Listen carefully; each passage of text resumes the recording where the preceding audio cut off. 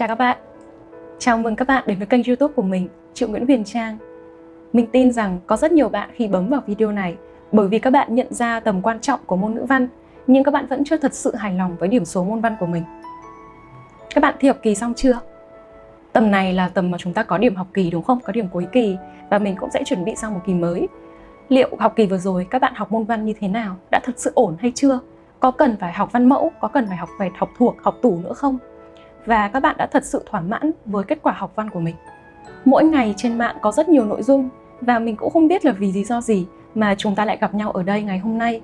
Tuy nhiên, mình rất là cảm ơn các bạn vì đã chọn xem video và mong các bạn sẽ có đủ sự kiên nhẫn, bởi vì dù sao thì đây cũng là một video về học thuật và sẽ chỉ dành cho những người có đủ sự kiên nhẫn và tập trung thì mới có thể hiểu được nội dung của nó.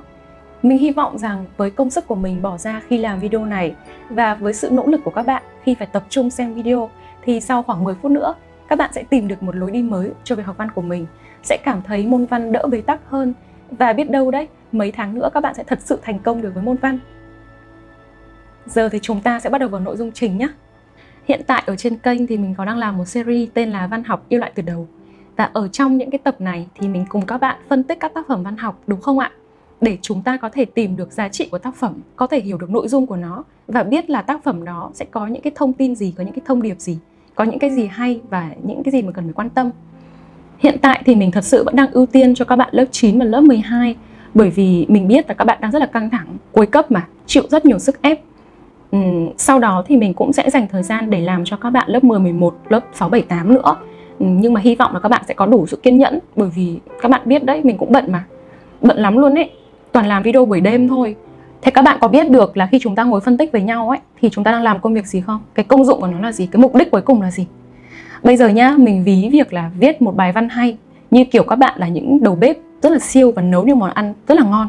Thế thì để nấu được món ăn ngon, chúng ta sẽ phải có nguyên liệu đúng không ạ? Phải có công thức và phải thực hành đủ nhiều thì mới nấu được một món ngon. Thế thì cái phần mà chúng ta phân tích văn bản này, chúng ta nói với nhau về những trải nghiệm cuộc sống ấy, nói là không thể viết nhiều hơn những gì mình sống và động viên nhau là hãy sống ý nghĩa hơn, sống chậm hơn và trải nghiệm nhiều hơn để có kiến thức mà viết văn. Thì tất cả những cái nội dung đó nó chính là phần nguyên liệu. Giống như bây giờ các bạn ra chợ các bạn có tiền các bạn mua rất nhiều nguyên liệu về. Nguyên liệu ngon nhất tươi nhất và sẽ là hiếm nhất kiểu độc nhất để các bạn nấu được cái món nó rất là sang chảnh. Đấy thì những cái kiến thức của chúng ta những cái hiểu biết đó những trải nghiệm cuộc sống của các bạn nó chính là phần nguyên liệu. Thế còn trong cái series này đây chính là phần công thức kỹ thuật cách mà chúng ta viết một bài văn được chưa? Khi mà chúng ta có nguyên liệu có công thức rồi thì các bạn đã có nền tảng để viết văn hay. Thế nhưng nếu các bạn không luyện tập tức là mình không thực hành á mình lao vào mình nấu luôn á thì khả năng cao là sẽ fail luôn sẽ hỏng luôn. Phải luyện tập đủ nhiều phải có cái khả năng có cái sự linh cảm ấy, kiểu như là tổ tiên mách bảo ấy ừ, cho bao nhiêu nguyên liệu ấy. Xong rồi là mình linh cảm được cái nhiệt độ như thế nào thì lúc đó chúng ta mới có thể viết được một cái bài văn hay có thể nấu ăn ngon. Đấy thì đó chính là cái sự kết hợp giữa chất liệu giữa nguyên liệu giữa công thức giữa những cái lý thuyết và kỹ năng về thực hành. Trong quá trình mà dùng mạng xã hội ấy, thì mình cũng cố gắng là tương tác với các bạn. Và khi mình đặt câu hỏi với các bạn là à em gặp khó khăn trong vấn đề gì khi viết văn? hoặc là mình đọc cái comment ấy, đọc bình luận ấy, thì rất nhiều bạn nói rằng các bạn gặp khó khăn với việc diễn đạt. Tức là mình không có ý để viết hoặc là bí từ mình viết nó không hay tức là hành văn nó không mượt đấy nó rất là như kiểu là ăn cơm nguội ấy hoặc là viết sai viết lủng củng lan man thì tất cả những cái yếu tố này những cái sự phê bình này ấy, nó sẽ nằm trong phần diễn đạt khả năng diễn đạt của bạn chưa tốt Vậy thì bây giờ để viết văn hay, trước tiên chúng ta cần phải cố gắng là diễn đạt tốt, đúng không? Để diễn đạt được tốt thì các bạn quan tâm cho mình bốn yếu tố. Đầu tiên là về ý tưởng, tiếp theo là từ vựng, thứ ba là ngữ pháp, cú pháp và cuối cùng thứ tư đó là về hành văn, văn phong, cái lối viết của mình. Về ý tưởng ấy thì các bạn có thể xem lại trong series à, viết văn nghị luận xã hội đặc biệt là tập 2, tập 3, tập 4. Ở những tập này thì mình nói rất nhiều về việc là mục đích khi viết. Các bạn viết để làm gì? và sẽ viết cái gì khi mà có ý tưởng rồi thì chúng ta sẽ quan tâm đến yếu tố còn lại vậy chúng ta có thể bỏ qua phần ý tưởng để các bạn xem lại trong những tập khác để mình không mất thời gian còn vào phần từ vựng luôn nhé về yếu tố từ vựng ấy thì mình nhắc các bạn trong tiếng việt tiếng nào cũng thế thôi sẽ có khái niệm đó là trường từ vựng trường từ vựng hoặc là những cái nhóm từ đồng nghĩa từ gần nghĩa từ trái nghĩa sẽ có các cái từ loại. Và khi mà chúng ta muốn viết được hay thì các bạn cần phải có từ vựng đa dạng nhưng phải đúng chủ đề và hiểu được sắc thái của từ. Thế nào là từ vựng đa dạng? À, đối với chủ đề nghị luận xã hội về sức mạnh đi. À, con người mạnh mẽ. Thế nhưng mà ngoài từ mạnh mẽ chúng ta sẽ còn có rất nhiều các từ khác. Ví dụ sức mạnh là danh từ hoặc là sự mạnh mẽ hoặc chúng ta sẽ có nội lực ngoại lực nó cũng nằm trong phần sức mạnh. Hoặc chúng ta sẽ có biểu hiện của những người mạnh mẽ đó là những người kiên cường đúng không ạ? Vững vàng thì đó chính là một số những cái từ gần nghĩa đồng nghĩa để chúng ta diễn đạt một cách đa dạng một cái từ duy nhất đó là sự mạnh mẽ à, con người mạnh mẽ được chưa? Hoặc là khi các bạn muốn nói về Nam Cao đi à ngoài việc là gọi ông Nam Cao là tác giả thì mình có thể gọi là nhà văn có thể gọi là cây bút truyện ngắn xuất sắc hoặc là cây bút hiện thực hoặc là ngôi sao sáng trên bầu trời văn học hiện thực Việt Nam. Kiểu rất nhiều cách gọi luôn đấy và những cái từ này nó vẫn là chỉ người, vẫn là chỉ một nhà văn, một người viết, đúng không ạ? Vậy thì chúng ta đã có một loạt những cái cụm từ cùng một chủ đề, và diễn đạt rất đa dạng về một ý duy nhất, đó là nhà văn Nam Cao. Nhưng sau khi mà chúng ta đã tìm được từ đa dạng rồi, thì phải cố gắng là đúng chủ đề à chẳng hạn khi mà chúng ta nói về chủ đề à, về thành công về thất bại về chăm chỉ về ước mơ niềm tin thì tất cả những cái từ này nó đều thuộc về chủ đề phát triển bản thân. Nếu các bạn chịu khó đọc sách self help thì các bạn sẽ để ý đến là sẽ gặp những từ này rất là nhiều và chúng ta sẽ tìm thấy những cái từ như vậy. Ví dụ à, mình sẽ gặt hái thành công mình đi được đến đích mình à, trải qua hành trình cuộc sống kiểu như thế thì những cái chùm từ vựng này ấy, nó phải đúng một chủ đề thôi. Và khi các bạn cho được trong một văn bản thì nó rất là hay và nó rất là mượt. Hoặc về sắc thái từ ấy, thì chúng ta để ý này mỗi một từ nó sẽ có sắc thái khác nhau có sắc thái trung lập có sắc thái tích cực hoặc tiêu cực. Chẳng hạn như bây giờ các bạn nói là những video của chị Trang thì giúp em học tốt môn văn hơn. Thì trong cái từ giúp đấy ấy, nó có sắc thái tích cực. Thế nhưng khi các bạn nói là những video của chị Trang khiến em hoặc là gây ra đấy, làm cho em à, thì những cái từ này nó không thật sự là diễn đạt được sự tích cực. Các bạn có thể nói là khiến cho em chán môn văn hơn thì ok. Hoặc là uh, gây ra cho em một cái sự thất vọng. Hoặc là những từ như là nguy cơ hoặc cơ hội. Tôi có cơ hội đỗ đại học tôi có nguy cơ trượt đại học. Phải biết được cái nào là tiêu cực cái nào tích cực và phân biệt rạch ròi nó ra nhá. Hoặc là về phạm vi nghĩa à, bản chất nghĩa của từ. Ví dụ bố mẹ có con chứ bố mẹ không sở hữu con cái. Mặc dù con là của bố mẹ, nhưng bố mẹ có cái đứa con đó và hai người có cái quan hệ, có tương tác với nhau, có cái sự ràng buộc với nhau. Chứ bố mẹ không phải là người sở hữu đứa con, mua đất cái đứa con đấy về. Và sau đó thì hoàn toàn quyết định đến cuộc đời của con mình. Không được như thế. Con có cuộc đời riêng của của con cái. Thế thì phải biết được thế nào là có, đấy là sở hữu. Thì đấy là về từ vựng nhá. Nhớ này, từ vựng thì phải đa dạng. Đúng chủ đề. Thế nhưng mà nó phải quan tâm đến sắc thái và bản chất nghĩa của từ là gì, chứ không dùng nhầm khi các bạn dùng từ chuẩn đấy các bạn dùng từ nó đa dạng linh hoạt đấy thì bài văn nó hay hơn rất nhiều. Và cái người giám khảo đọc vậy cảm thấy không bị uh, lặp đi lặp lại thì họ cảm thấy kiểu kiểu dễ chịu hơn rất là nhiều và cái vốn từ của em này rất là phong phú. Tiếp theo đó là về phần ngữ pháp và cú pháp. Có rất nhiều bạn đến bây giờ còn không biết cú pháp tiếng việt là gì cơ. Ngữ pháp ấy à các bạn biết học tiếng Anh đúng không? Học tiếng Pháp thì sẽ biết đến là ngữ pháp. Thì còn cú pháp vậy là những cái quy tắc để chúng ta tạo thành những cụm từ và sắp đặt những cụm từ vào trong câu để nó logic với nhau để cái câu đấy nó diễn đạt đúng ý đúng nghĩa không bị sai và khi mà các bạn nắm được phần nào về ngữ pháp và cú pháp tiếng Việt thì các bạn có thể diễn đạt, có thể viết được những cái câu nó rất là đa dạng, nó rất là hay và không bị hiểu sai ý, không bị lan man, không bị lùng củng.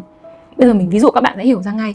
Chẳng hạn như khi mà chúng ta nói về tác phẩm Lão Hạc, mình sẽ nói là nhà văn đã viết tác phẩm vào giai đoạn à, rất là khó khăn trong lịch sử dân tộc kiểu như thế. Thế thì bây giờ đó là một câu chủ động đúng không? Câu chủ động mà nhà văn đã viết tác phẩm thế bây giờ câu sau mình không muốn lặp lại nữa thì mình phải nói là tác phẩm đã được ra đời trong giai đoạn nào đấy. Thì đó chính là hai câu nó vẫn diễn đạt cùng một cái ý thôi, nhưng mà cái cách thức nó khác nhau. Tức là ruột thì vẫn là một, nhưng cái áo mặc lên lại nó khác. Một câu là chủ động, một câu là bị động. Hoặc là nếu chúng ta chán câu bị động, chủ động rồi thì mình chuyển sang câu nghi vấn. Mình không dùng câu câu kể nữa, mình không dùng câu trần thuật nữa, dùng câu nghi vấn. Nó bình thường quá thì bây giờ mình phải bất thường lên, đúng không? Ví dụ, câu bình thường sẽ là như thế này à, nhà văn Nam Cao đã từng nói hai chấm nghệ thuật không nên là ánh trăng lừa dối. Ok rồi. Thế bây giờ bây giờ mình làm nó bất thường lên đi. Liệu mấy ai còn nhớ một câu nói rất nổi tiếng của nhà văn Nam Cao hỏi chấm? Thì đó chính là một câu nghi vấn. Sau đó thì mình sẽ dẫn cái câu đó ra. Thì mình đã thay đổi được cái cách mà mình diễn đạt và à, nhờ cái cái cấu trúc câu này ấy, về cái ngữ pháp về cú pháp ấy, thì những cái từ này được sắp xếp và rất là hợp lý khiến cho chúng ta cấu tạo được một câu nghi vấn nó hay hơn nó thú vị hơn. Và cái mạch của câu văn đấy mạch của cái đoạn văn đấy nó sẽ trở nên thay đổi. Hoặc là về vị trí của các cái cụm từ trong câu cái này thì cú pháp quyết định rất là nhiều. Ví dụ như chúng ta sẽ nói là tác phẩm đã mang lại rất nhiều cung bậc cảm xúc cho người đọc. Sắp xếp thì là hợp lý bởi vì ấy, các bạn sẽ để là à đã mang lại cái gì? Mang lại những cung bậc cảm xúc cho ai? Cho người đọc. Mang lại cái gì cho ai? Nếu như chúng ta muốn nói thêm là cung bậc cảm xúc gì ấy, thì mình phải đổi lại một tí.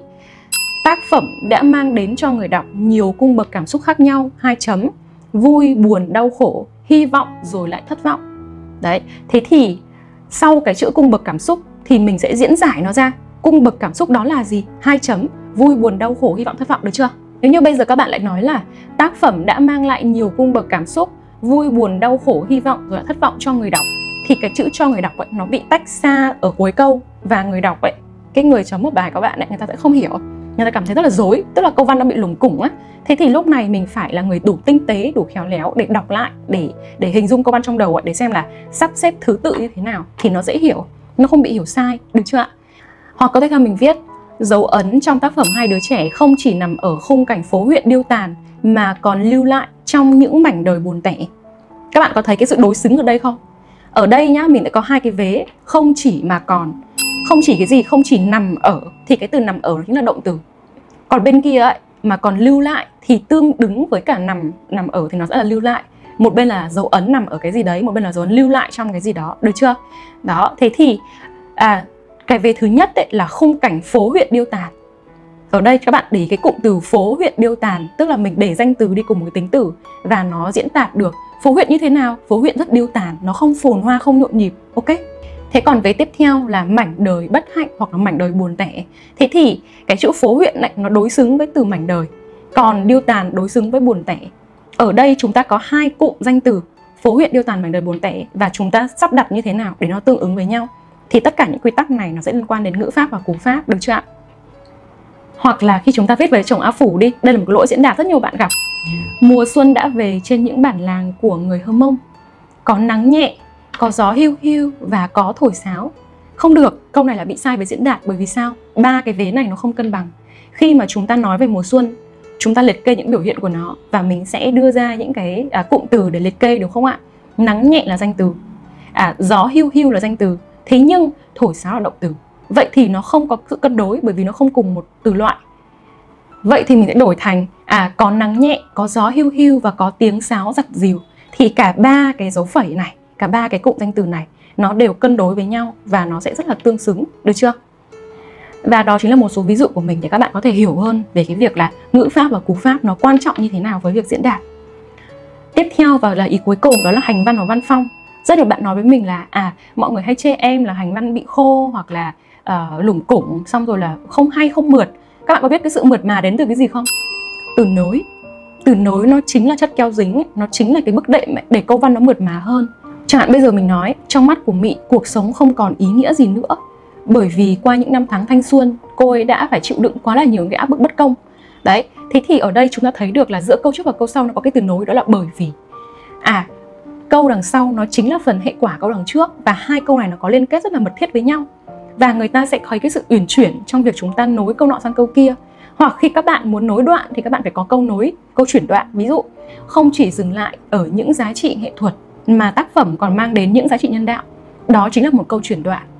Câu trước là chúng ta sẽ nói là à ok, ban nãy em vừa nói về giá trị nhân đạo rồi, bây giờ đến giá trị nghệ thuật. Hoặc các bạn sẽ nói là à ngoài những cái dấu ấn, ngoài những ấn tượng về giá trị nghệ thuật hoặc nhân đạo thì trong tác phẩm này chúng ta còn thấy được tài năng của tác giả thì đó chính là một câu chuyển đoạn. Và những cái câu văn này ấy, hoặc những cái từ nối đó ấy, nó sẽ giúp cho bài văn các bạn rất là mượt. Chúng ta hay nghe lời phê là um, em viết văn kiểu nó quá là khô khan đấy nó không giàu hình ảnh nó không giàu kiểu cảm xúc. Thế thì bây giờ làm sao để viết giàu hình ảnh cảm xúc? Các bạn cần phải biết sử dụng những từ tượng thanh tượng hình những tính từ và trạng từ để miêu tả được cái trạng thái cái tính chất của sự việc. Bây giờ mình có một cái ví dụ. À quay kem rơi xuống đất và bắn lên áo. Nghe chán không? Như kiểu là một câu kể thôi đúng không? Nhưng bây giờ là một câu cho vào văn mẫu được này. Que kem rơi bụp xuống nền đất bắn tung tóe những vệt kem đi du lịch ở trên áo. Đây là một cái ví dụ mà mình nhớ từ rất là lâu rồi. Cái câu văn này mình đọc từ hồi mình học lớp 5, lớp 6 á. Mình nhớ mãi cái khái niệm là à, đi du lịch trên áo. Nó rất là hình tượng luôn đấy. Tức là cái que kem nó đang đi khắp nơi trên cái tấm áo đấy và nó sẽ bắn tung tóe lên. Thế thì ở đây người ta không có nói là que kem rơi xuống đất mà rơi bụp.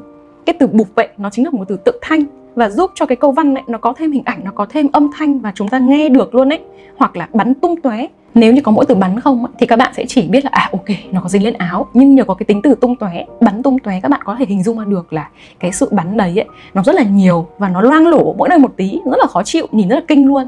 Thì đó chính là cái tác dụng của những cái từ tượng thanh tượng hình những cái từ tính từ ấy, hoặc là trạng từ để miêu tả về hành động về cảm xúc để nói về tính chất của cái hành động đấy, được chưa?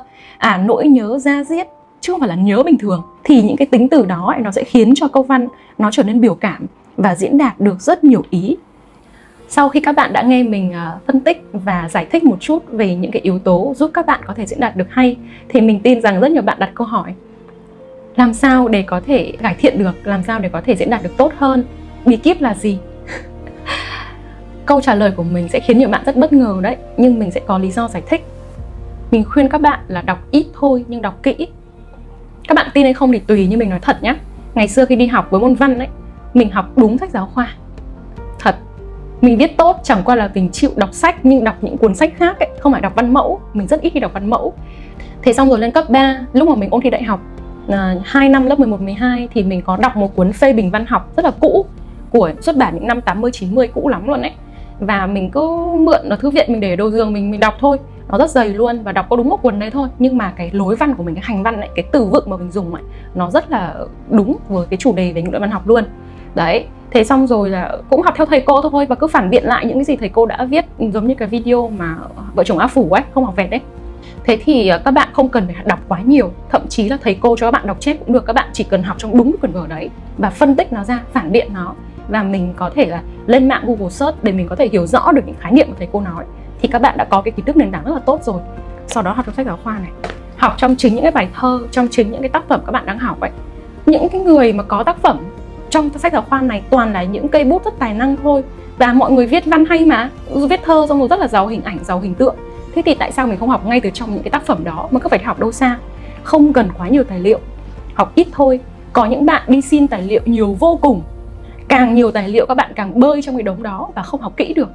Chọn lọc ra những cuốn tài liệu cô đọng nhất và hợp với mình nhất, sau đó chỉ đọc đúng những cái nguồn đó thôi. Kể cả các bạn có muốn viết văn hay thì chỉ bắt trước ấy, bắt trước văn phong của một hai người thôi. Chứ bây giờ mỗi ông tác giả bắt trước một kiểu thì không có văn hay đâu. Được chưa? Thế thì bây giờ nhá, các bạn sẽ cần phải tìm cho mình những cây bút các bạn thích, những tác giả, những blogger các bạn cảm thấy thích và các bạn muốn đi theo cái hướng đấy, các bạn cảm thấy nó hợp với mình sau đó thì các bạn sẽ chọn một vài cuốn sách rất là ít thôi. Thậm chí có thể mua sách phê bình văn học để về nhà đọc thêm.